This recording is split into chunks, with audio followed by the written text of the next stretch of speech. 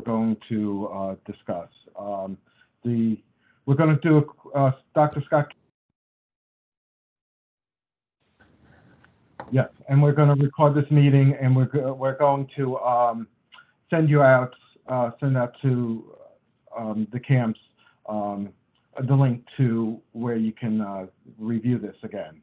Um, so Dr. Scott Campbell is going to review the pesticide legislation that came out last year, just a quick review of that, and then he's going to give you some um, guidance on uh, mosquito and tick prevention. Uh, we also have food allergens and the national safety check we're going to review, and that's going to be done by Christine Bouchard, and Chris Candell will go over the uh, polio virus guidance. Um, but uh, first off, uh, we're getting uh, a number of questions. We can go to the first slide, Christine.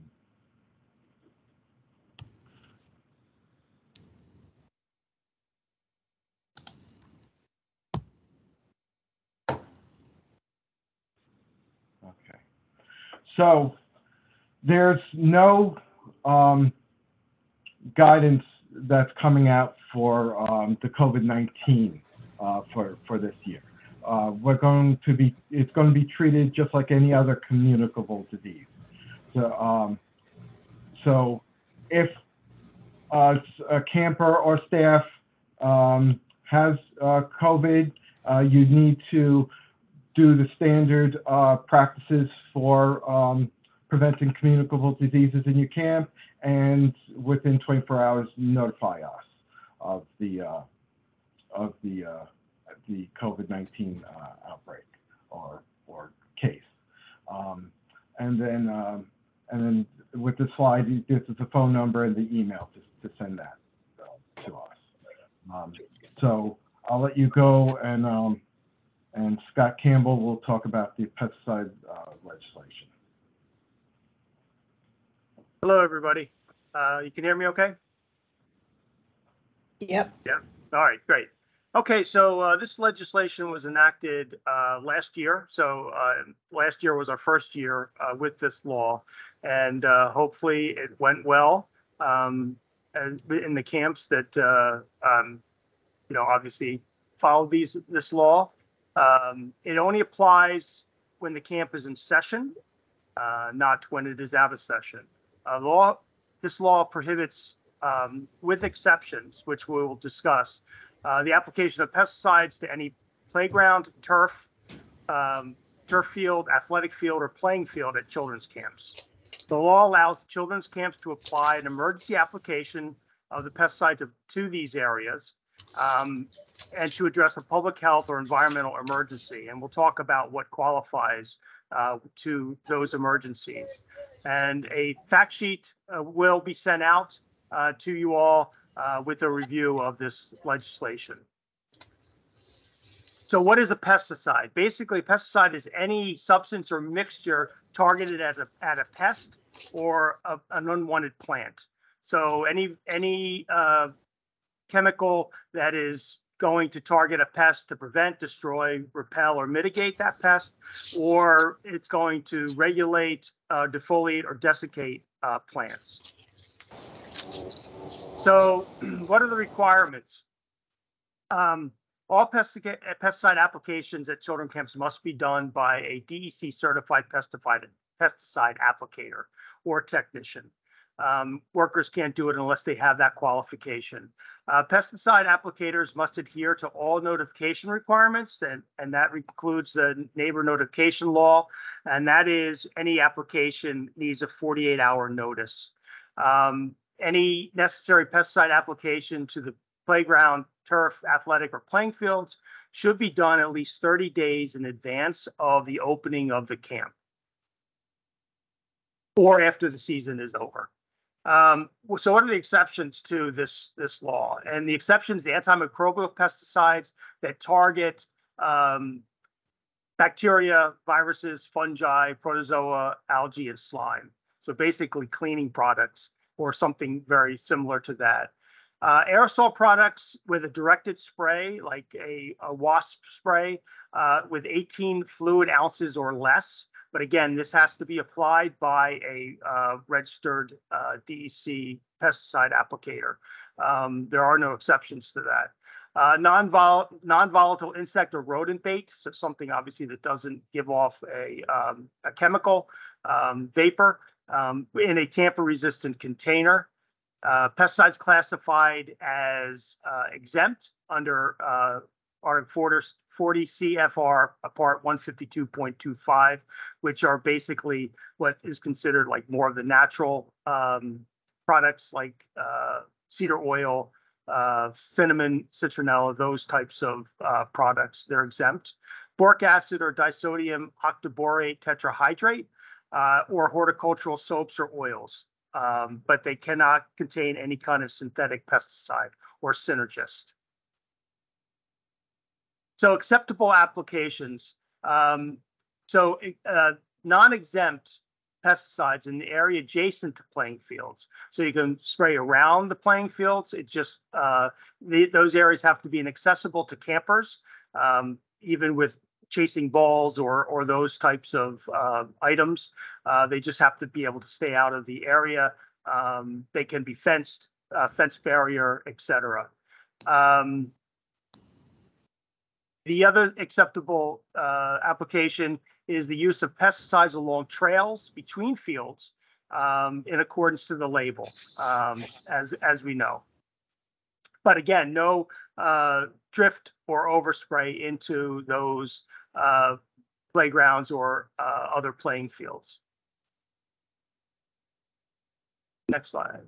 Um, so, so there are there are exemptions uh, for non-exempt prohibited pesticides. Uh, so the use of a non-exempt prohibited pesticide is warranted when uh, it is used to reduce a public health threat uh, to the safety, to in- increase the safety to children and adults present. An example would be an unusual, the key word is unusual, infestation of vector populations such as ticks that may carry human pathogens. Um, but it has to be unusual. It can't be a routine population. There would have to be something that elevates it above the routine uh, circumstance. Um, also, situations that may arise in the future, ones that we may not be aware of or be thinking of, um, so that ones that are not identified yet, uh, you know, some sort of uh, emergent uh, threat um, that is unknown to the state of New York. And if you have any um, of those requests for uh, an application um, for non-exempt uh, prohibited pesticide, you can contact us at that number or that email address. Examples of non-warrant use. So um, the uh, the issues that can be managed with the allowed products um, and and alternative strategies. So if if those are possible, the uh, exemption probably will not be approved. Um, moving moving things, uh, putting down wood chips, something like that. If that's that's part of it uh, of a strategy that would not be um, acceptable, you would not get that exemption. Uh, routine or repetitive pest problems like ticks, again, if it's just they're there, um, that that probably would be considered routine. Um, ticks are are endemic in Suffolk County, but if there was an outbreak of a certain pathogen or or, or condition, something like that, then that might uh, rise to the level of, of an exemption. But routine or repetitive pest problems um, are not uh, do not qualify for an exemption. Uh, pesticide applications for aesthetic reasons, uh, such as the presence of growth or undesirable species, is not exempt, and treatment of pests or plants that impact the quality of the turf are not exempt. And so, how do we prevent uh, mosquito bites and tick bites? So, I'll go over um, that uh, now. So, basically, to create bites, you want to create barriers, and you can create two types of barrier. One is with clothing, that's a physical barrier, and then you can uh, create uh, another barrier, uh, a chemical barrier with repellents. And uh, as we know, any kind of um, bug spray uh, repellent needs a permission slip uh, by submitted to the camp by the uh, camper um, or the parents of the camper. nets. So uh, it's very similar with uh, uh, tick bites in many ways, but also, you know, mosquitoes fly, ticks crawl. So, um, you know, you can't really avoid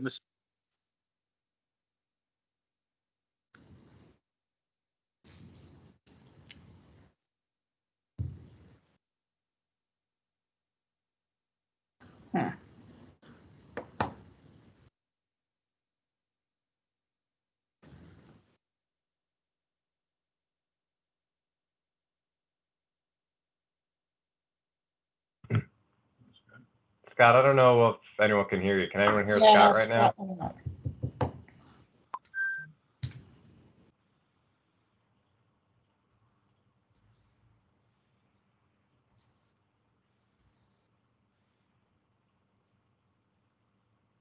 Yeah, Scott, I don't think we can hear you. Did you call in or are you on your mic?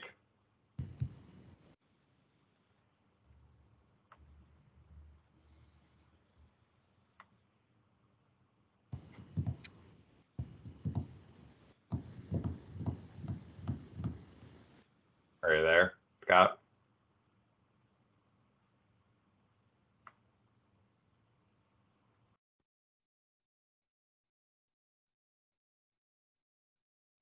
Can you hear me? Now we can. Okay, all right. Um, Gotcha. yeah, so, uh, can you hear me okay? Can you hear me? Yeah, it's just a little low. Okay. Um, so, uh, I don't know, where, where did I go out? Did I talk about, uh, I began talking about tick bites? You're on prevention of tick bites. Yeah. So um, obviously you can avoid tick habitat. Uh, you can't really do that with mosquitoes; they will fly to you. Uh, so there are some differences, obviously, with with tick bite uh, prevention and mosquito bite prevention. But uh, with regarding ticks, you don't want to be sitting uh, or playing in areas where the ticks are present. Um, walking on paths, you want to stay in the center of the paths um, and not along the grassy edges. Um, maybe uh, more conducive to workers uh, with tucking long pants into socks. Most campers are going to come uh, in shorts, is my guess. Uh, but that's another way to prevent, you know, that physical barrier of clothing and uh, preventing ticks from crawling up under under clothing. Uh, they will come from the ground or the or the low laying brush, not from trees or anything like that. Um, hats will can hold long hair up off the back, so prevents um, you know, the uh, ticks from getting into the hair uh, sooner. Um, you want to check frequently for ticks. Um, probably not a bad idea to have a um, frequent tick check, uh, a, a, camp tick check uh, after, um, you know, playing in a in a field or walking through a trail or something like that.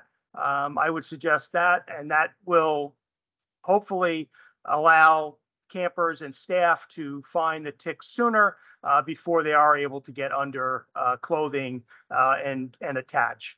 Um, the other thing is um, you can treat uh, clothing with a dryer, a clothes dryer, um, at the end of the day, and and you can convey that to the campers as well as staff. Uh, ticks don't like dryness, and anything any ticks on clothing when you put it into a dryer it will dry them out and kill them and once that's dried for 10 minutes um, they will be unable to bite uh, anybody uh, including those in the house that are unsuspecting and doing the laundry so you uh, you can do that uh, pass that information along to the campers as well next so as I mentioned, ticks come from the ground. They don't drop from trees. They don't fly. Uh, they don't jump. Uh, they quest, and that basically allows them to or causes them to stand on vegetation uh, or leaf leaves and with their front legs out. And as somebody or something brushes against them, they will attach, grab, grab, grab on with those front legs, and then start crawling on uh, the individual, um, and then looking for a, a site to feed. The second thing is you. No, that's fine again, you want to you want to because they're on the ground, you want to prevent them from getting under clothing, and this is how we do it. Um, I, again, how how this fits into um, the the camp uh, program uh, may or may not work. Maybe for workers, maybe not for counselors. But uh, really, if you can create that barrier of clothing uh, or repellents, you're going to do, do much better with regards to um, the uh, reduction of tick bite exposure. Next. So again, frequent tick checks, and uh, if, you can work that into your program, I, I think that would be a great thing. Definitely, uh, all campers should do tick checks uh, when they go home, as well as staff. Um, and I, I always like to do a tick check the following morning because those little ticks that that may have attached overnight that you missed uh, during the original tick bite uh, or tick check rather, um, they um, they may attach uh, after after the the evening, and uh, now you're you're going you're going to see them. They're going to be a little bigger uh, because of uh, that that attachment and that redness that you get on the bite. So check after the uh, after the camp day is done and the following morning, whenever you brush your teeth, basically. Next. Uh, clothes dryer, it's it's uh, a camper and a camp staff's best friend. Again, anything they wear outside in, in tick territory, throw in a dryer for 10 minutes and it basically sterilizes them against ticks. Next. Uh, so where do you check check for ticks? Well, uh, basically everywhere. Um, you know, ticks can be in belly buttons, they can be in ears, you know, behind ears, uh, especially with children. Uh, they're they're going they they have a tendency to um, um, be found more around the head um, and neck. Um, but but yeah, anywhere that's exposed. But typically they'll end up behind knees, uh, in the groin area, around waistbands of of any sort. Um, you know that that that tightness around skin. That's where they'll stop crawling and they'll attach. Uh, armpits, uh, elbows, behind uh, behind the uh, arms, uh, on the back, and obviously the ears or um, scalp. Go ahead. Uh, so uh, Lyme disease uh, and, and other tick-borne illnesses can produce a rash. Um, the um, bullseye rash or erythema migrans rash is very typical for um, Lyme disease. It occurs in about 60 to 70% of the cases, doesn't occur in all of them. So it's uh, um, not a given that you will get a rash if you get Lyme disease, but, um, but if you do have a rash that looks like this, then you know that you do have Lyme disease uh, and treatment should, should occur. Next. So, and, and the, um, the quality of the uh, rash will may vary on the tones um, or the color tone of the skin. Uh, darker skin, it may more look more like a bruise as opposed to a bullseye rash on a lighter skinned person. Next. Okay, so uh, the repellents, what what is out there? Um, there's there's many of them. Uh, they should all the ones that are used uh, should be EPA approved. Uh, EPA approval basically means they're effective against ticks and mosquitoes. Um, there's one that's only used on clothing, and that's permethrin. Uh, there was a study out of University of Rhode Island. Basically, uh, somebody that used permethrin on their shoes and socks uh, were 75%, approximately 75% less likely to be bitten by a tick again, the, the idea is that you want to stop those ticks from from getting on the person. So you you know by by spraying permethrin on shoes or socks are going to reduce the risk of being bitten. Uh, that that application is done while the clothing is not being worn. You allow it to dry for about four hours, and then you can wear the the uh, clothing. Uh, that repellent is good for about six washings, so you don't have to re- apply it every day. So if they you have camp shoes and socks and clothing that you're going to wear, um, they, that can be applied and um, you know basically weekly, um, or if, if, it's washed more frequently. But again, you know, uh, just follow the directions. Uh, the other products are are not uh, do not bind to clothing, but uh, can be used on clothing or skin, uh, typically used on skin, and um, um, that will present, uh, prevent any uh, tick exposure on the skin. Again, you want to follow the uh, directions on all repellents. Go ahead. So sunscreen and repellent. Um, again, camper is allowed to carry these products with the permission of the parent or guardian. Uh, um, sunscreens must be FDA approved, um, and uh, the all camps are required to uh, keep record of the permission slips uh, for the campers. And um, the um, permission slips should allow, or if, if needed, uh, allow the child that is unable to apply sunscreen or insect repellent when directed by the child and permitted by the parent or guardian and authorized by the camp. So you all are probably all familiar with that, but uh, you want to keep that um, in mind as well. Uh, what do you apply first? Um, the first you uh, apply the sunscreen first, and then you apply the repellent because you want the repellent on the on the uh, top, right? You don't want to apply the repellent and then uh, apply the sunscreen. Um, it won't work as well. All right. And combined products aren't as effective as separate products. It's better to have a sunscreen and repellent and add them separately, not uh, not a product that has both. Next. Okay, so what's what's the business end of the uh, tick, and that and that's what is in the uh, red circle. That's the mouth or biting parts, or technically it's called the hypostome, and that is the only bit of the uh, tick that enters the skin uh, during the bite. Um, they don't burrow into the skin. Uh, they don't slice into the skin. That that is the only piece of the tick that uh, enters the skin while it is uh, attached and feeding. Next. So what- is the proper way to do tick removal? And that is to use a fine tipped forceps uh, and grasp the tick as close to the skin as possible and pull it up um, uh, in one fell swoop. Don't twist it. Uh, don't don't tug on it. Um, you know, uh, with with just a, a, firm tug up will remove the tick and hopefully the mouth part. That mouth part, if it remains in uh, the bite, is not infectious. It will eventually slough off. Um, once the tick is removed, you can treat the site with either an alcohol swab uh, or a triple antibiotic and and put a bandage on it. Next.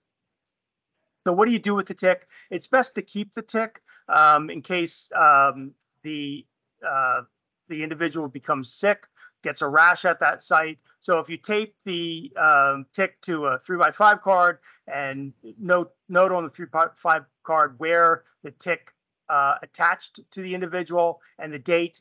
Um, the rash usually occurs between three to seven days, um, or it can occur up to 30 days. So it's good to have that record um, if if the tick is attached and is removed. Go ahead. So further information, you can contact us. We ha- actually have a lot of information on our website. Uh, you any questions on ticks can be uh, submitted to tick.prevention at Suffolk County ny.gov. Any uh, questions on mosquitoes can be submitted to mosquito.prevention at suffolkcountyny.gov. Uh, and there's also additional information on the New York State uh, DOH website and the CDC websites, uh, both on ticks and mosquitoes. Um, I'll be happy to uh, answer any questions on ticks, mosquitoes, the law. No, it's a it's a webinar. He's talking about ticks. Let's see the chat.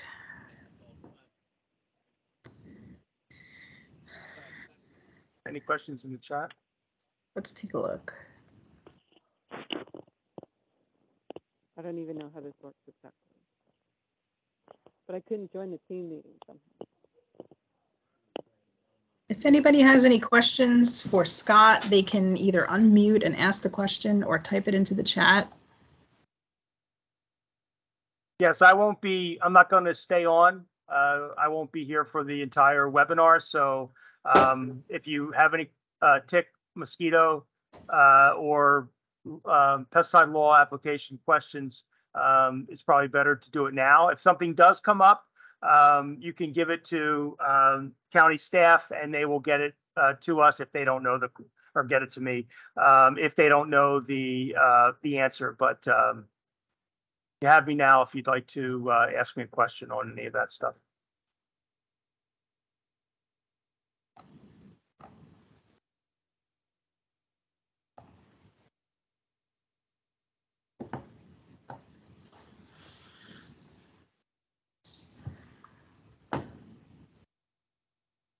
I guess not. All right, I'm not seeing anything, so um, follow up if you have a question, you can email. Okay, Thank you, everybody. All right, thanks, Scott. thanks, Scott. You're welcome.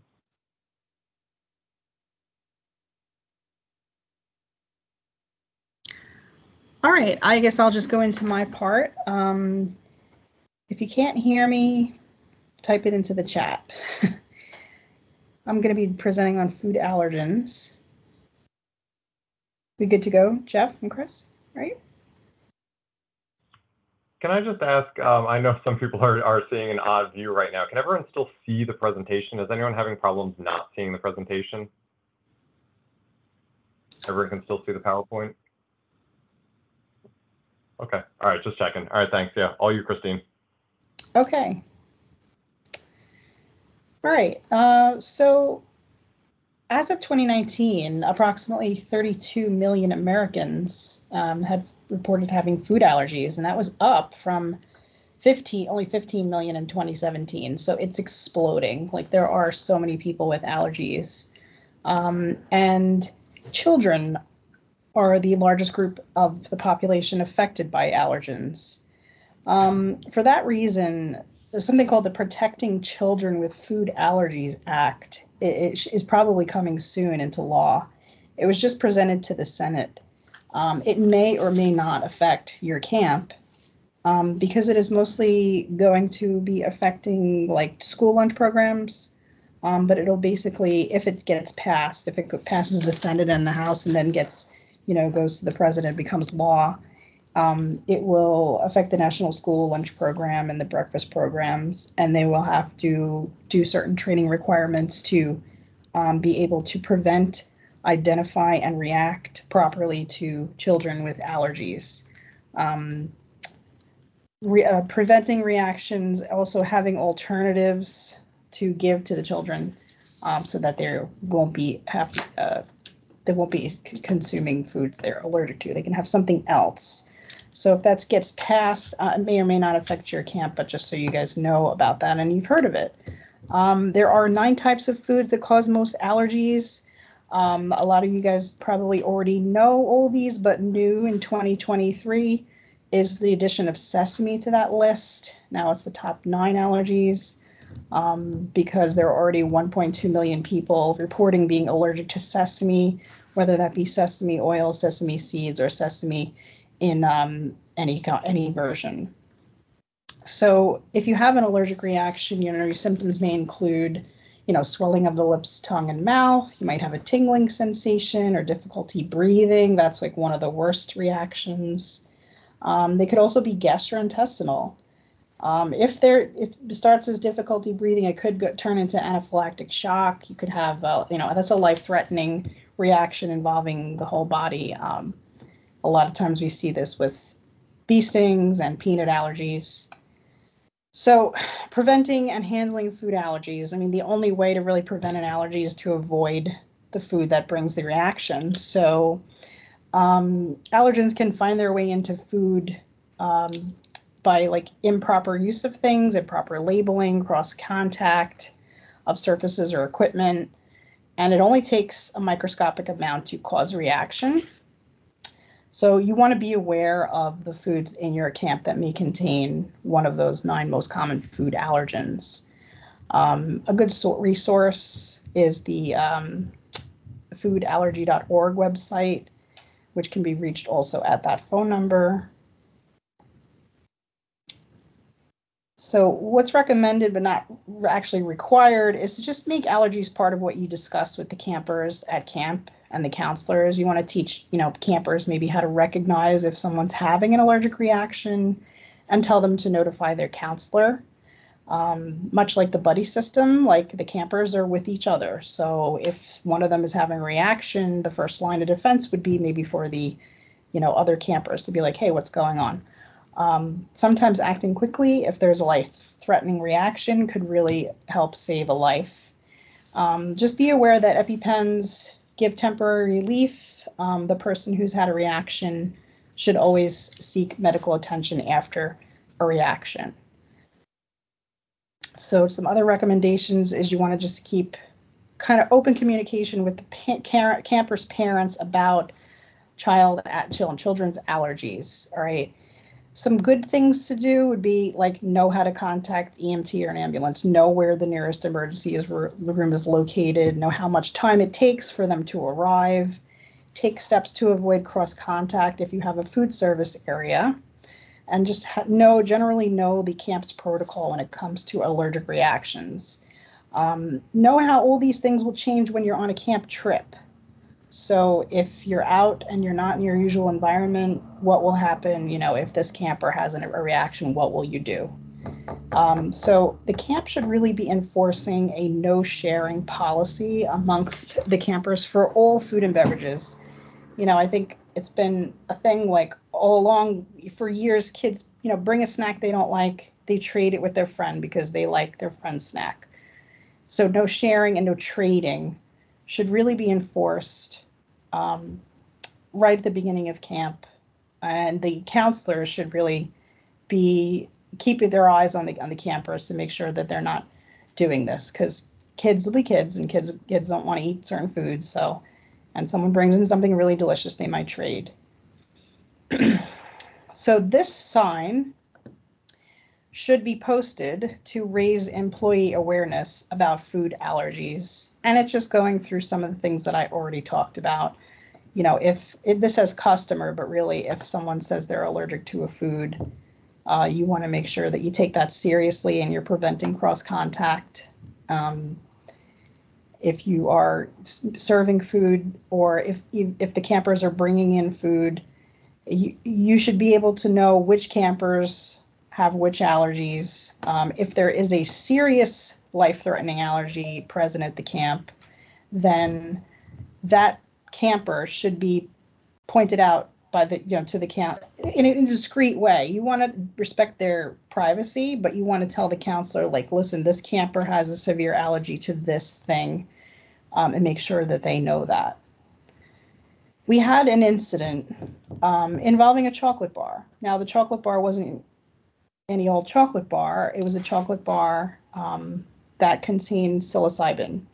So the camper took this chocolate bar from the parent. Um, psilocybin is a psychedelic compound which has mind altering effects, which include euphoria and visual or mental hallucinations and changes in perception. It can also cause nausea and panic attacks. So, what happened with this? So, the camper brought the candy bar to camp intending to trade snacks with other campers. Apparently a counselor also had some of it and two campers consumed pieces of the chocolate bar.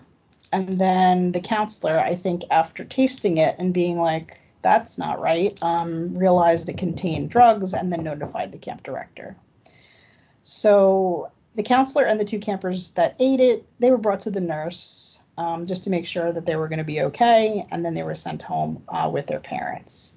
They did all return to the camp after you know they didn't really experience any side effects but it just brought to light you know the fact that there really shouldn't be any trading or sharing of food um, not just because this was a piece of chocolate with drugs in it but because someone could have been severely allergic to you know it could have been a chocolate bar with nuts in it giving it to a, a camper that was has a you know severe nut allergy um, and that's what can happen so just uh, highlighting that so no sharing at the camps. um, just to turn your attention now to the National Sex Offender Registry. So in June of 2022, uh, legislation was signed that required children's camps to ascertain whether employees or volunteers are on the National Sex Offender Registry using the National Crime Information Center. Now you may be thinking, wait a minute, don't we already do this? Um, that is not to be confused with the New York State Sex Offender Registry check this is in addition to doing what you already do. So both of these checks must be completed. Um, you have to conduct it prior to the first day that the employee or volunteer will start working at the camp, and then every year thereafter, prior to their arrival at the camp. So the National Crime Information Center database, it can't actually be accessed by camp operators, but the department will accept checking the staff against the United States Department of Justice National Sex Offender Public website, which is listed there. And that's available to the public. So, as far as doing this, the directions to do it, you're going to go to that website, nsopw.gov, and you're going to enter the individual's first and last name in the search by name field, and then just click name search after you agree to the conditions and entering like the captcha, like click all the boxes that have a bus in it or motorcycle or whatever, you'll see the results of the search. And the results will indicate that it is including all states, all 50 states and territories and Indian country were performed. So I just included a picture of the website. So you would enter your name there where it says search by name. Um, so now you may be wondering, like, well, what if we just type in a, a very common name, like, you know, John Smith or something like that. So when you type in the name, it'll come up with any matches that match the name or match an alias that the the person has used. So when you get the list, it's going to have a picture of the person, their supposedly real name, any listed aliases, and an actual address with the, the street and the state and the town and the state.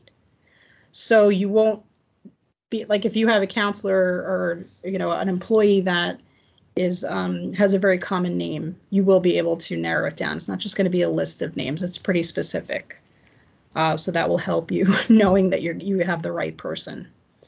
Um, and that's it that's for, for mine. So uh, we'll just hold questions unless you have, you know, you can type them into the chat. We'll go on to Chris's section about polio and then we'll answer questions at the end. So take it away, Chris. Thank you, Christine. So what we're going to talk about now is polio. Oh, Christine, if you don't mind uh, muting yourself, I'm getting a little feedback there. Okay.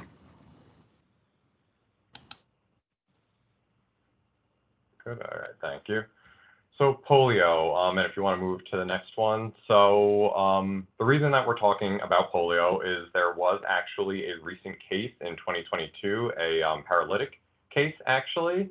Um, it was in an unvaccinated young, um, previously healthy adult in Rockland County. So um, that obviously set up several alarms to, to see if what other potential cases there are out there, um, paralytic or otherwise. Since then, there have been um, surveillance being conducted in other counties, including Nassau County and in New York City.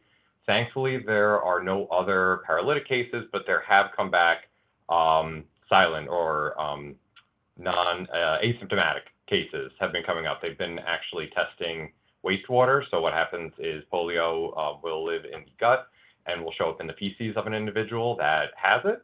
So they are seeing in sewage treatment testing that they are actually finding cases um, in counties as close as as Nassau County. Now, what is polio? Um, many of you may be aware already, but it's a highly contagious disease. Um, it's very easily spread, especially for unvaccinated individuals. So a, communities of um, several unvaccinated individuals, it can spread very quickly. Um, it's spread with uh, contact of surfaces, pools, baths that have been contaminated by someone who has the illness, um, especially those who have um, gastrointestinal symptoms. So any sort of fecal matter that's getting in these waters can potentially lead to um, passing on the polio virus. Um, while there is no cure, there is a vaccine. So we'll get into recommendations, but the vaccine is the big, um, really the biggest thing as far as preventing the spread of polio. As far as symptoms go, paralysis is the big one, weakness of the arms, legs, both, um, and it could actually lead to permanent disability, can also lead to meningitis, and along with that paralysis of muscles, it can actually paralyze the muscles used for breathing, which can actually result in death in some individuals. And children that do develop um, any sort of, or, or children that fully recover can actually end up with symptoms as many as 15 or 40 years later as an adult. Those symptoms can emerge um, even after they've been, um, they've sort of recovered from the illness as children. best practices, these none of this is codified. Um, these are all really um, strong recommendations for all of you as camp operators. Um, the big one is just ensuring that all staff um, and campers have received the full series of vaccinations. And I will probably repeat myself a couple times on this. There is no changes as far as the requirements for immunizations. Campers and staff are not required to be immunized, um, but we would have a strong recommendation to make sure, um, especially for the polio virus, that all of our staff, um, staff and campers are, are fully immunized. We want to make sure that we're maintaining adequate disinfection levels in pools for those camps that have pools on site. We will get into that um, on the, the next slide, but there is um, a recommendation to actually increase the, uh, the disinfection level in swimming pools. Uh, we want to encourage hand hygiene.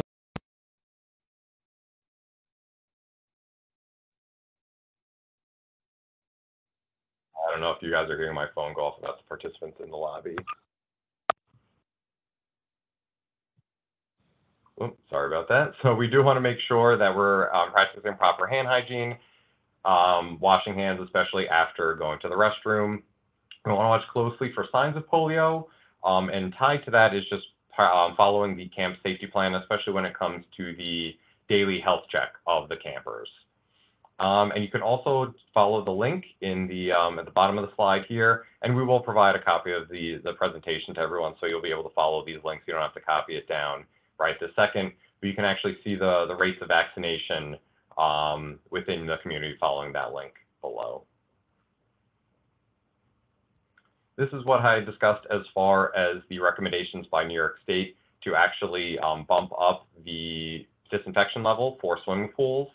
So typically in pools, we want to see um, a, a 0.6, a 1.5 um, parts per million of chlorine, um, depending on the pH level. So that has now right um, risen. We want to see one for a pH of 7.2 to 7.8, and um, three as opposed from 1.5 for for those higher pH levels.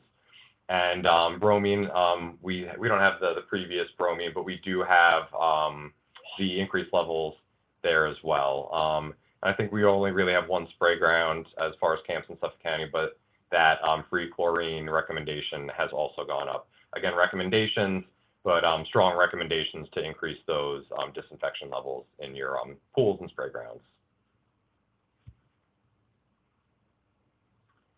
As far as some responsibilities of the camps, um, like I said, campers are not required to be immunized. we do want to, though, get records of immunization. We want to um, see which campers are immunized and what campers are not immunized. And for those that are not, we want to make sure that there is a list of campers. So if there is any sort of outbreak or um, of anything, not just polio, any sort of illness outbreak, you know which campers would need to be excluded from camp until the outbreak has passed. Um, and not required, but it is a very good idea to also maintain a list of staff that are not fully vaccinated or uh, fully immunized for the same reason that if there is any sort of outbreak, you'd like those, um, you would want those non-immunized um, staff um, to, to be outside of camp until the outbreak has passed. And camps do have the option to um, require or recommend immunization for both their campers and for their staff.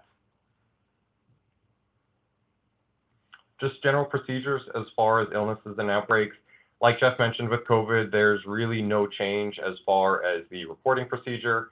Any sort of communicable illness that is um, at camp, whether it be a camper or a staff member, must be reported to the department within 24 hours.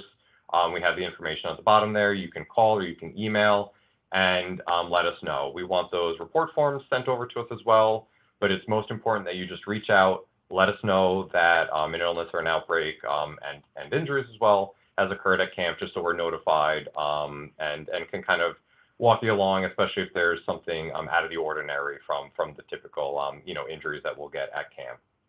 Um, and then especially letting us know if there are any sort of polio symptoms or um, really any sort of um, polio illness or outbreak. And then just general as far as if there is any sort of outbreak at camp, um, procedures that should be followed for, for each camp. Um, of course, early identification um, is going to be the most important. That's why we want to do those daily health checks when campers are arriving at camp, whether it's an overnight camp when they're first arriving or for a day camp each day when they're coming in. Just doing a general visual health check, making sure everyone um, looks looks healthy and not ill. If we do end up having any sort of outbreak situation, or if you end up do having ill campers, you want to separate the ill from the well as quickly as you can. Keep them physically separated. Um, um, and then if it's a, a, day camp, you want to make sure that they're separated before they're picked up by their parent or guardian. Um, and that sort of separation can vary based on the illness. Um, so depending on what it is, you may need um, a longer isolation um, or restriction period, again, depending on that illness. Anyone that is sent home following an illness or, or any sort of outbreak should go and seek immediate uh, medical attention from, from their their uh, from their physician.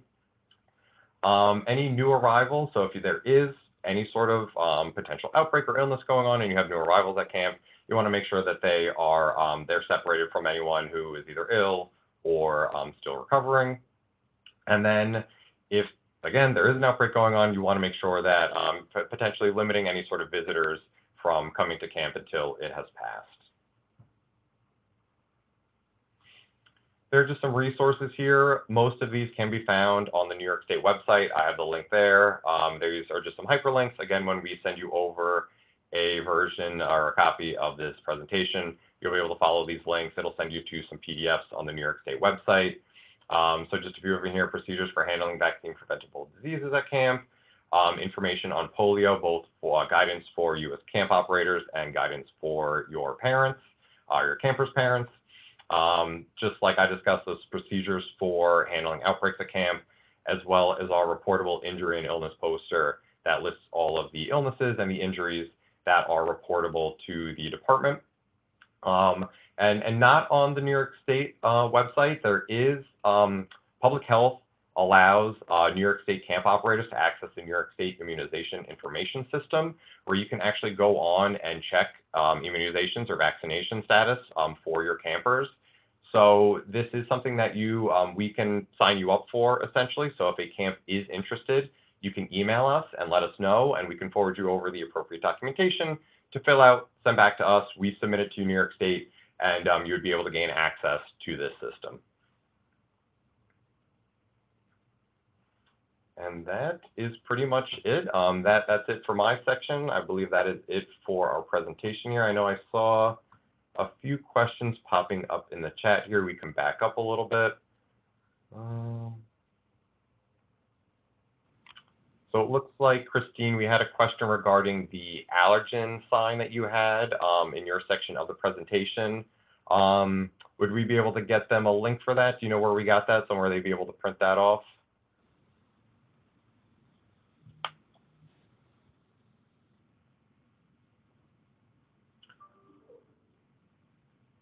we can email that to the uh, camps, the poster.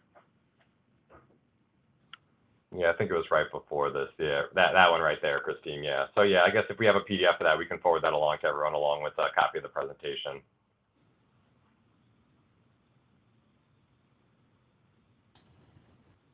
Okay, I'm sorry, I was muted, but anyway, that's the, that's the link right there. Oh, is there a link on the actual slide? Okay, and we could always, yeah, Yeah. we could always forward along with the presentation. It will be an, obviously a copy of the presentation, but we can, we can get everyone a, a copy of that. Um, a question regarding the National, um, Sex Offender Registry search. Um, what do they do after the search? Is there anything to print? Um, Jeff, I believe, yes, they should be presented with, um, a screen saying that that individual, um, is not on the, the registry, correct? Yes, and you just have to print the first page and put some notes if it's a multiple page um, uh, search.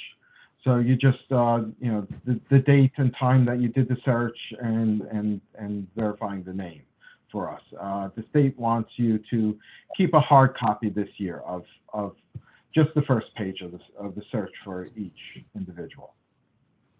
And there was a question about uh, if you have another company. So if you have a third party doing the search, uh, when we come out and do our inspection, we're just going to verify that the national uh, search is part of that um, the search that the company is doing for you. So no, you don't have to do it yourself if you have another uh, company doing it for you. And we just need to, you know, just provide us with, you know, the documentation that they are doing that search. It's included, in New York State and national. And then just another question regarding that. Yes, this is the first year um, that this is required. This is the first year that the state has um, has instructed us to to do the the national check along with the New York State check. Um, are there any parent letters from the department regarding uh, pesticides or polio? There is there is a letter for parents to parents or guardians regarding polio that would have been sent out to to all you guys. I think maybe a month or so ago. There are links to that in the presentation um, that you can find on the New York State website. So at the end of the presentation, those resources, one of them is a um, guidance document or an informational document or letter for parents regarding the polio virus. And I'm not sure about pesticides, if there's anything that was developed for um, parents. Do you know, Jeff? No, I don't believe so. Um, so if there is, we'll let you know, but there is that, that guidance document for, for polio. Um, yeah, I see some questions regarding the air quality. This is all sort of new to us um, as, as well. So if there is anything that's going to come out from the department, may not necessarily be from, from our office, but that is something that, yes, obviously camp season fast approaching.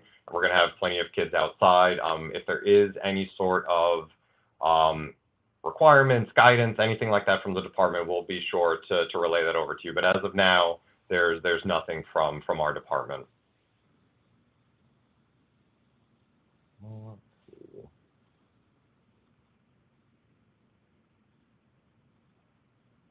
Um, and then any other letters required to be sent home to parents?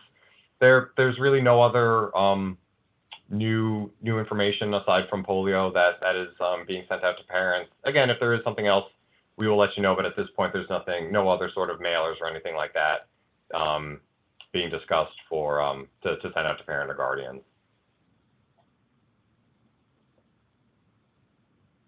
And I think that's a question the polio one is required. It's all strong recommendations. It's a good idea to send it out that to, to the parents just to let them know that that it is out there. Um, it is in New York State.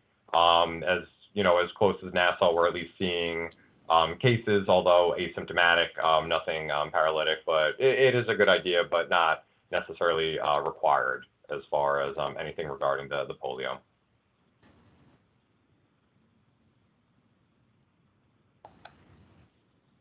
And any other questions, feel free to throw it in the chat. Feel free to unmute yourselves if you have any questions. Let us know.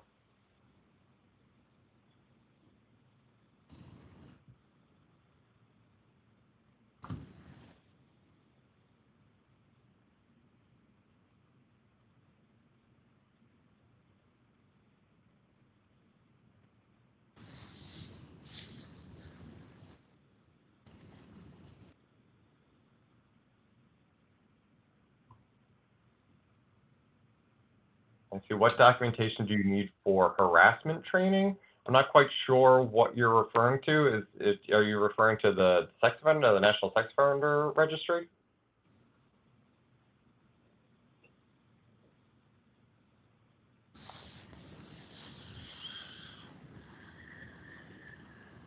I don't know, Kim, if you wanted to unmute yourself and sort of um, elaborate that on that. I'm not quite sure.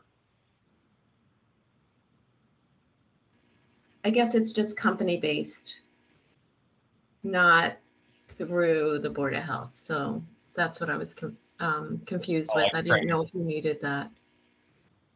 As far as like training for your for your staff, Yes. Mm-hmm.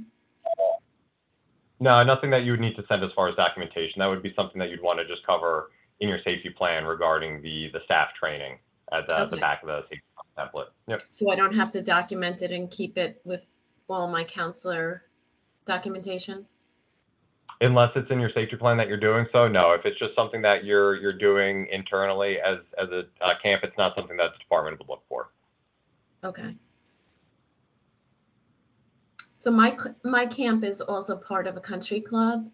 So do you recommend that I have all the other staff that's not part of the camp um, keep records of who is not immunized as well, or just the camp? What we would be looking for is just for the camp, and it would just be kind of a strong recommendation. It, it would be a good idea for, for the country club as a whole to do it. Again, just in case there is any sort of outbreak situation, it's always good to know. But when we're out there, we're focused on camp, so it's going to be your campers, the campers we want to see. That's what we'll, we'll need to see, a list of anyone that's not immunized. Camp staff, strong recommendation, but we wouldn't require. And anyone outside of camp, even though they're on the grounds, we wouldn't necessarily require that, but it would be, it would be a good idea. Got it. Okay, great. Thank you.